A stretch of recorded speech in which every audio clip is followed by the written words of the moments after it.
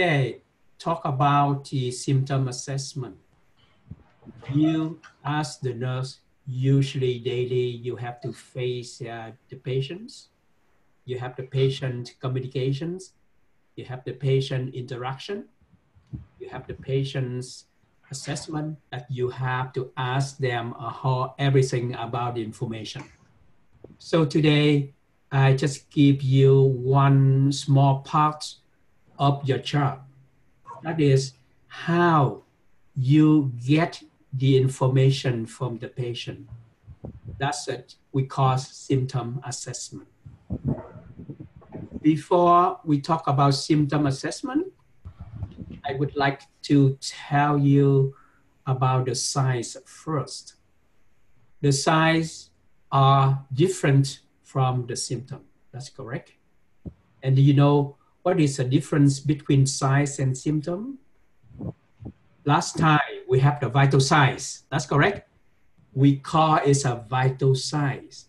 So anybody here tell me that what is the difference between signs and symptom?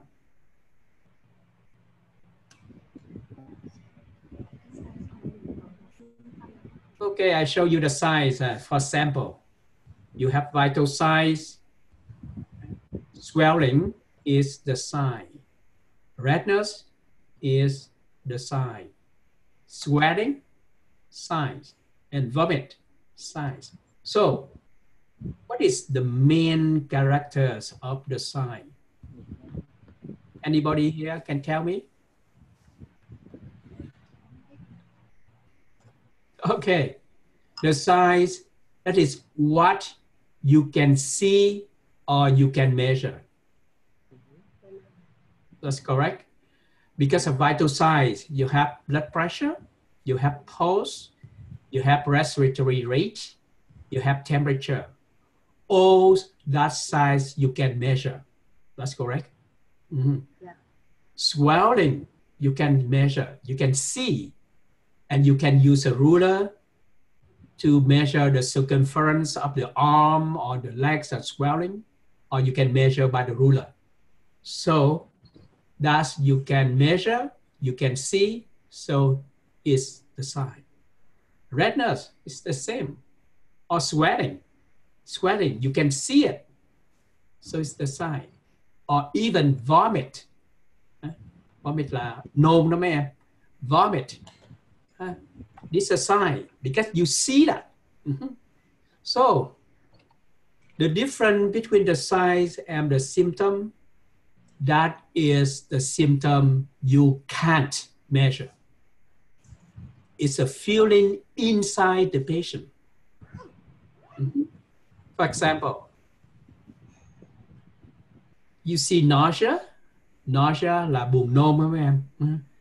Nausea is a symptom. Meanwhile, vomit is the sign. Nôn là dấu hiệu mà buồn nôn là triệu chứng. Okay? So even you see, because you can't measure nausea. Only the patient tell you that he or she has nausea or she or he is nauseous. The same with the pain. Can't measure the pain. Only the patient tell you about his or her pain. The same like a dizziness is a symptom. And fatigue, that is tiredness, is a symptom too. Nobody can say, you, you can't say what a person is tired if they don't if they don't they don't tell you. But you have some cue to know. Uh, for example, like about itching. Mm-hmm. You don't know. You don't know that the patient is itch or not. But because you watch them and you see them scratch, or you can see the scratch on the skin, so you guess does the patient have the itch? That's correct. So itching is the symptom, but you can predict, through the other side. The same like the SOB. SOB is a shortness of breath. Dr. Long will uh, teach you uh, very, uh, very in detail about that one. Huh? Shortness of breath, that is, is the symptom. But you can see the patient, you can see the neck, you can see their chest, and you can you can guess the patient has a SOB. But really, SOB is a subjective feeling. That's only the patient have the feeling that. Because somebody, some people say that, oh, I can use the, um, what is we call is a, is um, oximeter, oximeter to measure the SOB. No, oximeter just measure the oxygen saturation, not measure the level of SOB. Uh, we, we will talk in detail next time when Dr. Long uh, give you the respiratory lesson. Okay. And chill. You know chill? Lạnh rung uh, You, you can't you can't see anything except that the patient shaking. Uh, and if the patient shaking, it may be because she or he has the cold or because she has she has uh, she or he has emotion or something okay? So the patient have to tell you oh i'm very cold. So you know that the patient have a chill okay? So anyway the differentiation or what is the difference between signs and symptoms sometimes is not easy. But we have some idea that uh, we can make a conclusion here. Size, what is you can measure, you can see, and symptom, what the patient have to tell you. Now, the last thing I would like to tell you that is a syndrome. So what is a syndrome? Uh, what is different from syndrome and symptom? Syndrome trong tiếng Việt là hội chứng. Uh symptom uh, trong tiếng Việt là triệu chứng. Okay. Syndrome is the collection or a set of symptoms and signs which they goes together. We call syndrome. For example, you have Down syndrome, you have Cushing syndrome, that is the people who take steroids a lot, and you have AIDS, it's a syndrome tiếng Việt ha, mình gọi là bệnh AIDS hay là bệnh SIDA, mình gọi là bệnh. Actually, in English, it's not disease, it's a syndrome. Okay. Nhưng mà người Việt mình dịch ra là bệnh. Okay. Now, so today, the topic today that we we have to use a framework to get the information from the patient the most, uh, I just give you example that how you get information from pain. Because I told you pain is the sin, uh, is the symptom.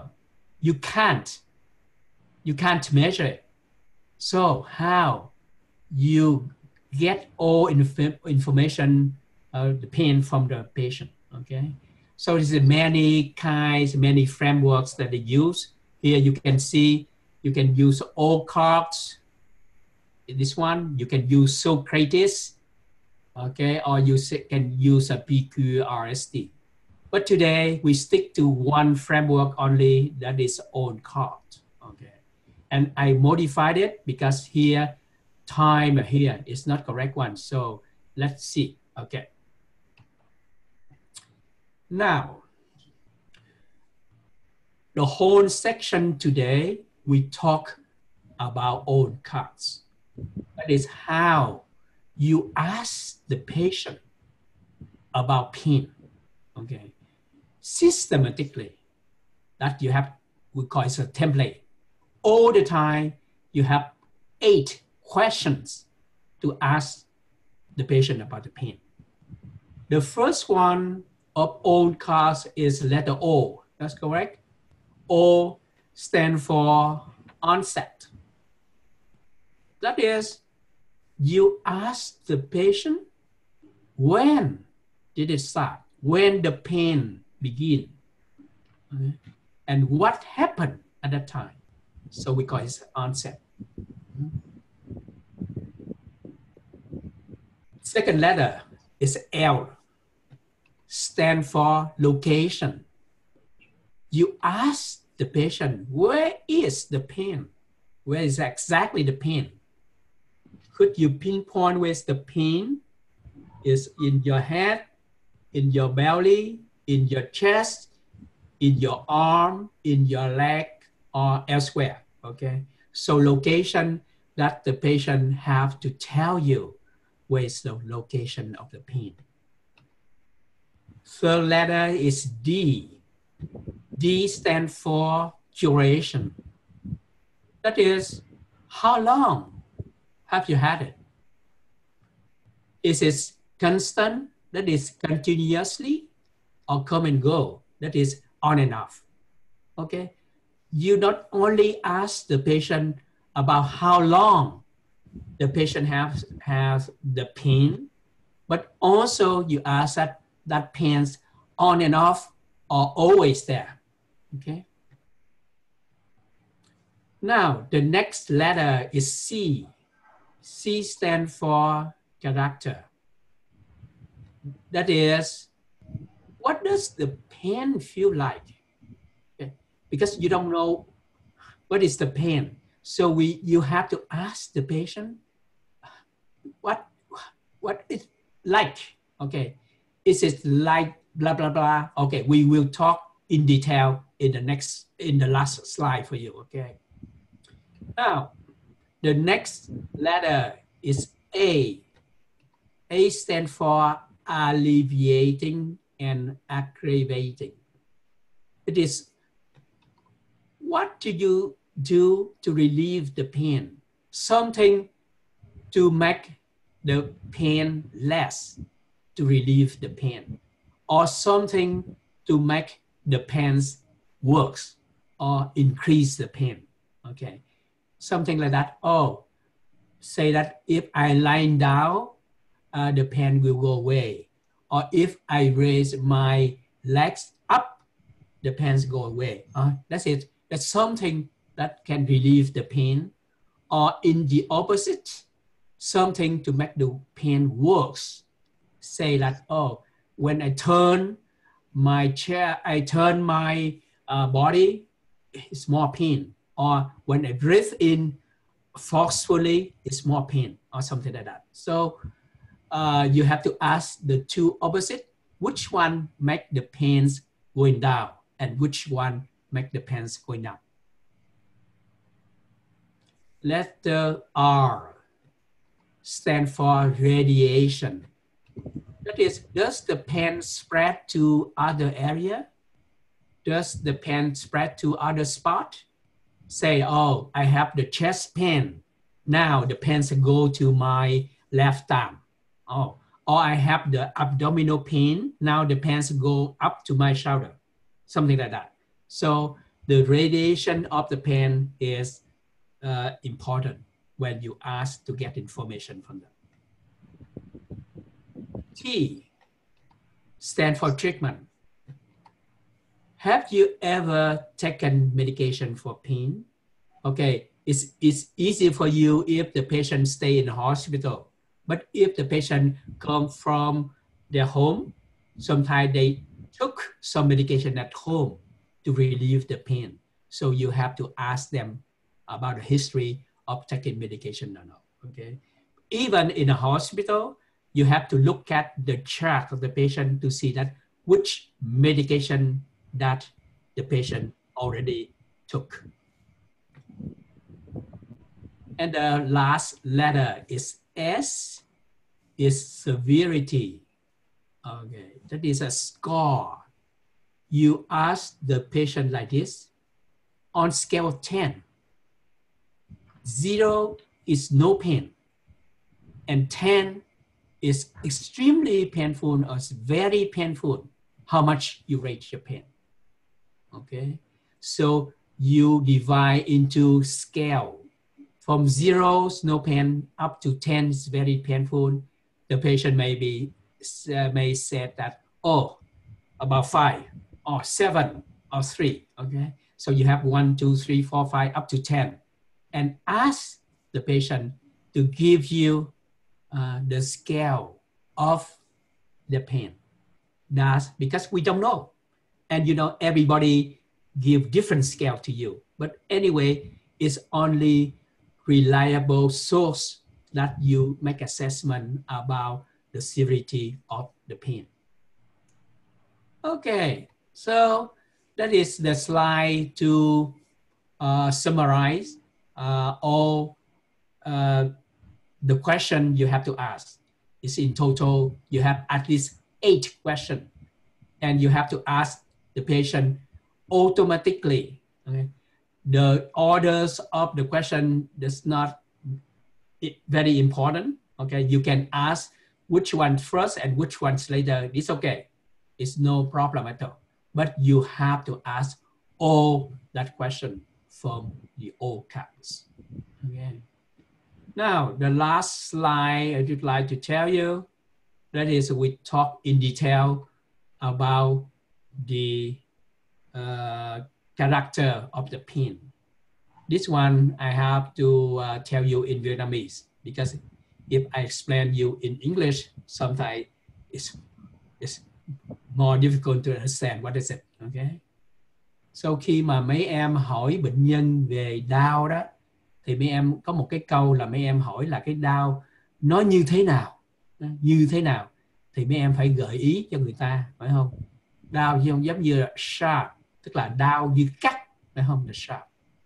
Đơn, ha, it is đơn, tức là đau mà đau ngấm ngầm đau ngầm á, thì là đơn burning là đau như là đốt như là nóng đốt là burning.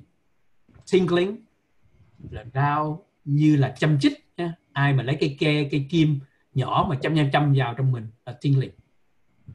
Stabbing đau giống như là ai đâm vào mình đúng không? Sharp là giống ai cắt cái da của mình phải không? Còn stabbing là giống như là ai đâm sâu vào trong người mình stabbing aching. Đau. Đau cái này là đau nhức phải không? Nhức thì aching. Cramping. Cramping là đau giống như là giật bẻ mấy em. Đau mà quặn á đau mà nó bị siết lại ha. Một cái chỗ một cái một cái cơ nào đó, nó siết lại thiết siết cứng ha, là cramping. Squeezing cũng hơi giống như cramping ha. Squeezing là giống như siết lại. Nhưng mà cái cramping á nó siết mà nó siết cứng và rất là đau. Squeezing á, thì có thể là ít đau hơn. Heavy tức là đau mà nó nặng nặng nề ha. nó giống như the đơn giống như là đau ngấm ngầm nhưng mà nó nó cảm giác nó nặng. Trong đó thì gọi là heavy. Tender tender là đau cái này là không phải là đau mà có nghĩa là nó đúng là nó nhạy đau. Tức là nó không có đau lắm nhưng mà em sờ vào thì là đau nhảy nhõng lên phải không? Đó là tender tức là nhạy lắm. Hả mình chỉ đưa tay vào thì nó đau là nó đau. Nhưng mà để không á, thì nó ít đau hơn. Đó gọi là tender. Và cuối cùng là sore. Sore là một cái đau giống như đau rát. Khó diễn tả nhưng mà giống như mấy em đau cổ họng á, thì cái đó kêu bằng sore mouth cái đau đau mà nó nó rát rát thì gọi là sore. Ok, so, tất cả ngày hôm nay là như thế, là như vậy là 20 phút. Ok, là xong cái bài bữa nay. Rồi, mấy em có gì thắc mắc không, muốn gì hỏi hay là nói tiếng Anh? Any question?